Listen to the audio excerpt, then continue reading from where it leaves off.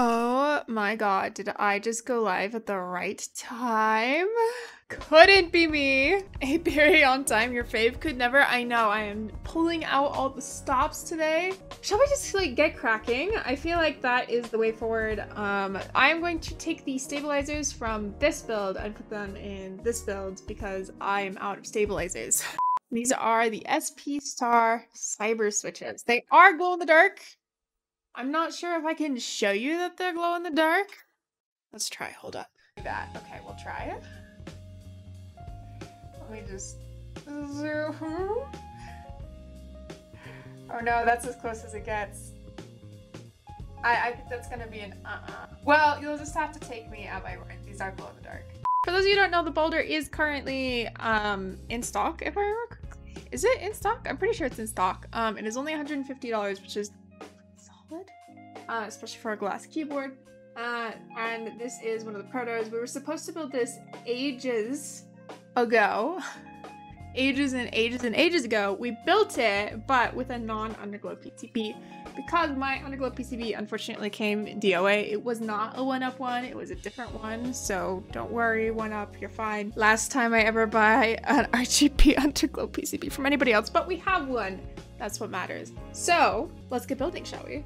Wait a second, glow in the dark switches on a glass case. I'm excited. I know I had these switches all picked out and prepped for this build for ages. We're not use a weird flex PCB because they don't have underglow and um, the coolest part of a glass keyboard is the underglow is going to be bonkers.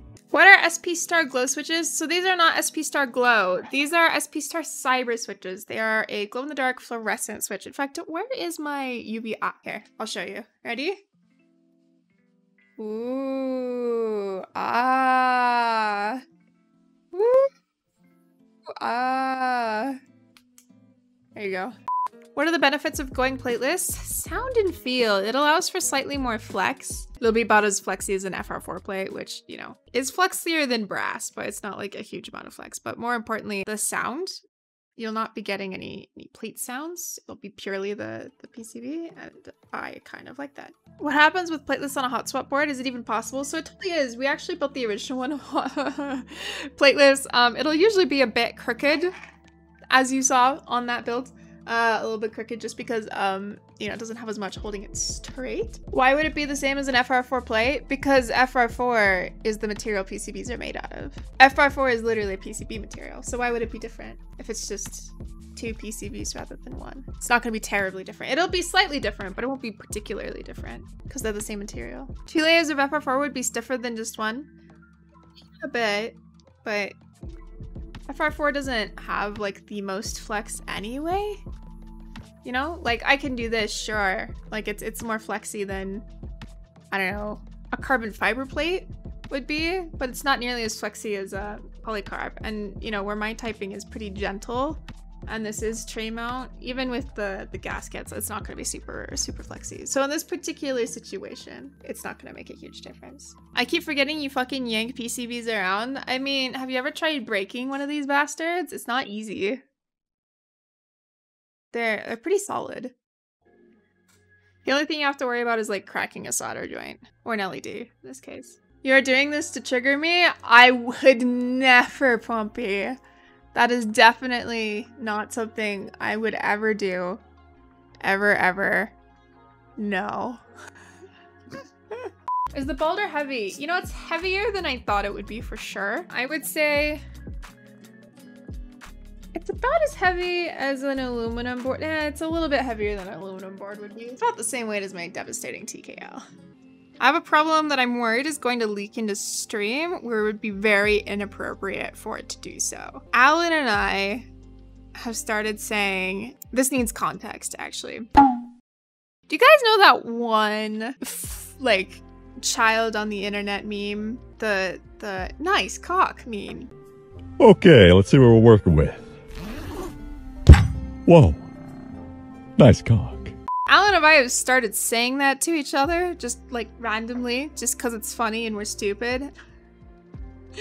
And I, I keep almost saying it to you guys on stream, and that would be highly inappropriate. So if I ever do so, just know I mean nothing by it. It's a meme. Forgive me. I'm going to continue to try to not let that come out on stream. Let's go from the nice cock meme to we are proud to be sponsored by Keycult. Um, they are not cocks. This on over now. I did want to do a little polyfill. I don't love the design on the bottom of the Winner PCB, and so I was like, eh, we'll just stick some polyfill in there.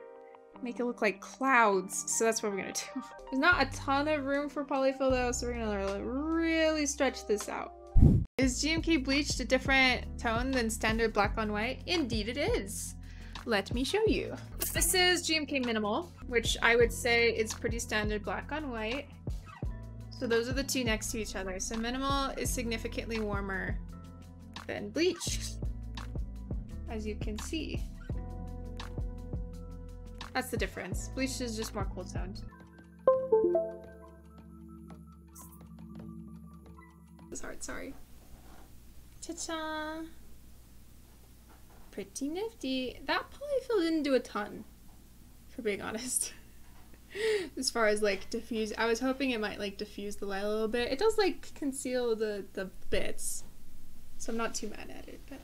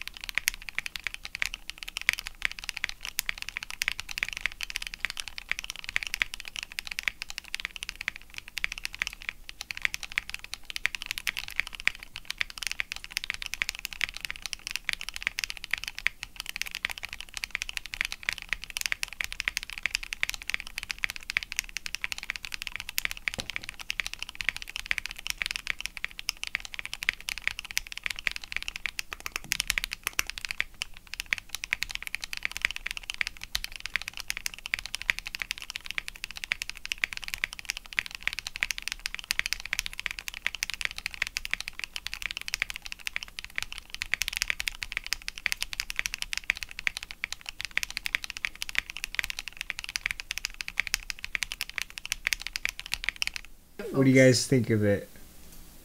What do you think of it? How do you feel about the sound? I like it.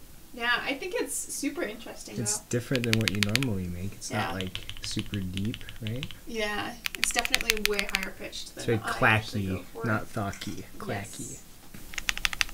Kind of reminds me of key Keycult sound, actually. Hello Cynda the video editor here.